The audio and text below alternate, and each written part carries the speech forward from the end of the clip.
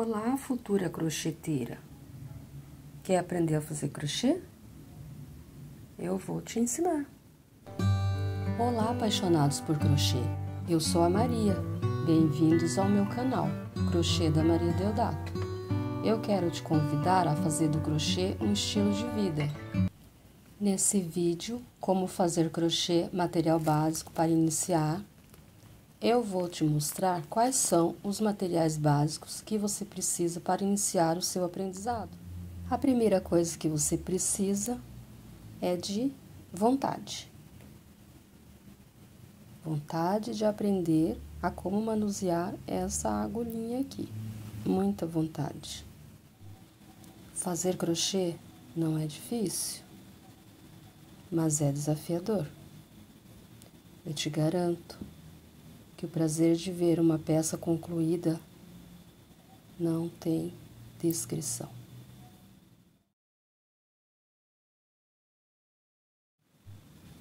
Antes de falar sobre cada um desses itens 100% de graça, eu quero pedir a sua audiência.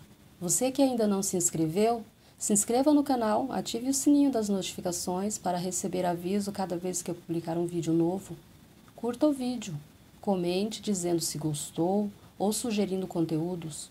Compartilhe com alguém que você acha que possa se interessar também. Como eu disse inicialmente, fazer crochê não é difícil, é desafiador.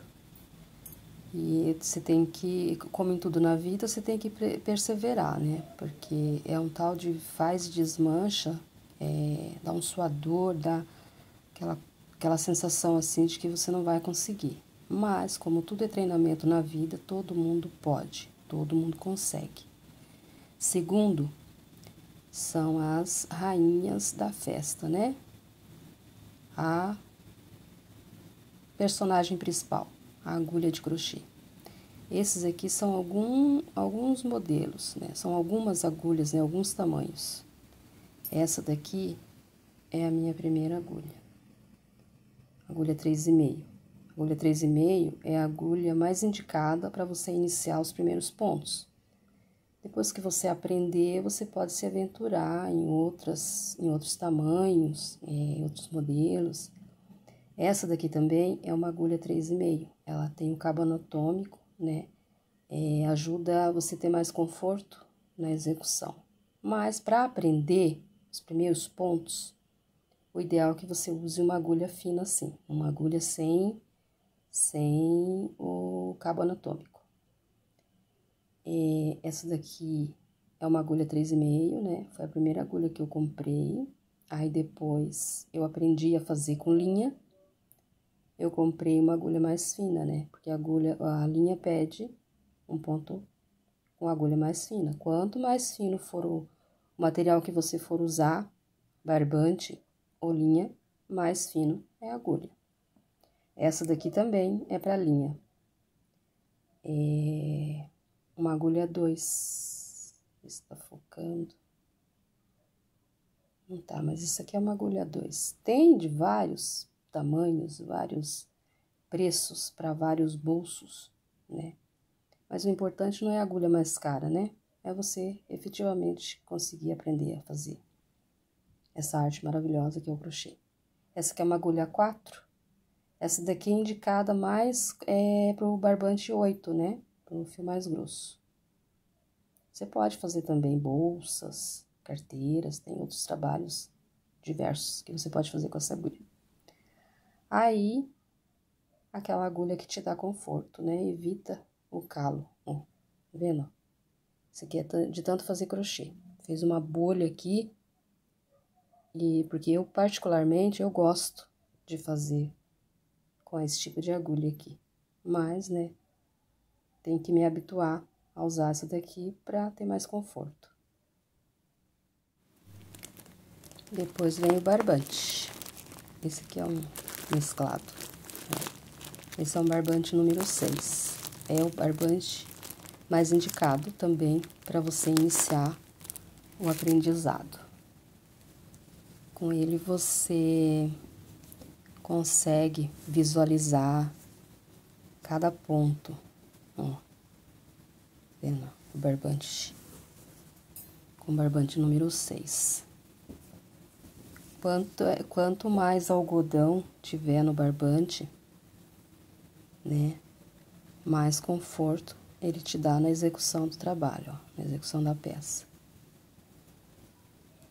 Aí depois vem a linha. Essa aqui é uma linha é, 100% algodão. É uma delícia trabalhar com essa linha. Ó. Tá vendo? Depois da vontade da agulha, vem a linha ou barbante. Depois vem os acessórios para execução das peças. Esse aqui são marcadores, marcadores de ponto. Se você não tiver no início marcador, não quiser comprar, você pode usar pedaço de linha, pedaço de fio. Você marca os, o, os pontos com, com um pedaço de fio. Mas se você quiser comprar, né? Eu, do último pacote que eu comprei, só sobraram esses dois aqui, ó. Porque é, eu fiz um tapete pesado de ponto pipoca e ele foi quebrando.